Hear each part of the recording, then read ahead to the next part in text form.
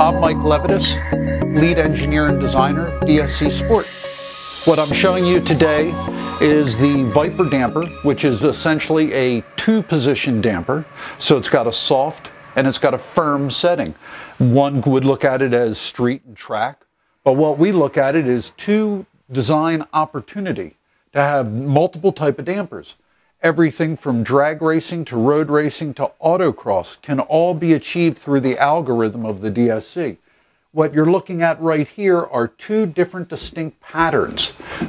A touring range, which is right here, and you got a sport range, which is here. These can be controlled through the DSC as to when they come in and how they're combined in the control strategy simply by going into shock calibration table and adding those. We really never realized the power of the DSC until doing other cars. We started with the Viper, but since doing the Ford Focus, which has the same damper, we're able to create a different algorithm so you can have a nice riding car that handles better. And that can be achieved with a two-way shock. This will never be what the Tractive is. You'll never get multiple control configurations in real time. You'll always be stuck between two different maps, which is an obvious limitation, but one that can be um, optimized. So you can optimize this, and that's what we're going to show you next. This graph depicts the tractive shock, and you can see the huge swing of, so you can have everything from a super soft, just nice cruising curve to very little low speed so that the tire is very nice and it doesn't upset the ride at all or the grip. And then you can see that you can really add a decent amount of low speed and high speed into the damper for control on the entrance to corners. That's rebound. You can see that you can have a soft nose in a lot of currents. This helps stop the tire from getting hurt on acceleration.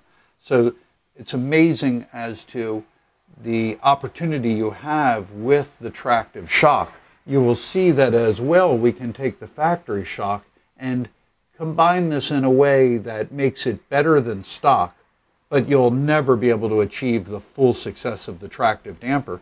But the beauty of getting the DSC controller to optimize the ride and optimize the performance is that at any time you can change the software in your DSC controller without even returning it to DSC Sport and just simply buying the shock absorbers. So you would bolt on the shocks and you would simply download the software and you would have the full availability of the tuned tractive suspension system. What We are able to do is create a strategy in which we can combine the two different type of graphs that the shock can go through to get a good road race shock, let's say a drag race setup.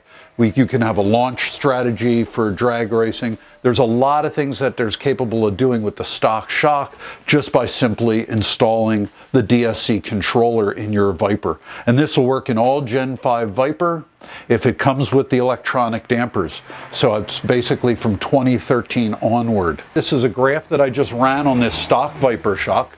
And this is at the what we're going to call the soft range of the shock. Right now I'm going to go ahead and we're going to test a mode in which we are going to create a different control strategies. And you'll see that the way we've got the test worked out is that we are going to be operating the shock in a multitude of, of strokes per inch. So this is a very accurate depiction. And what we're really getting from this is the true velocity of the shock. And you'll find out that there is two ranges, and you might find out in some road racing in autocrossing, you might want to run the shocks soft front and rear to have quick weight transfer. But on a road race track, you may want to have the front dampers come in before the rear so you can really plant the car on its front end and carry it into the corner. But all of that can be done inside of the DSC. And that is running at 10 inch per second at the end. So there are the two different control strategy. You'll see that this is at a lot of low speed. That's the reason the Viper rides so harsh when you're in the sport mode. Um, is due to this low speed. Anything under two inch per second is a lot of low speed. You can see the amount of rebound it's got, which uh, really tries to lift the tire, if anything. Fine for um, a road course um, when it's combined with the softer to get some grip into the tire. So you can kind of combine this. And that's what we found in the Ford Focus. So we're operating now at 10 inch per second. And this is the low speed. This would be the softer range. Low speed, it's got decent amount of high speed range. But in order to really control the shock, you'd want to be able to combine that. This is the opening and closing of the actual shim stock in the valve because this makes it seem a little softer in the nose.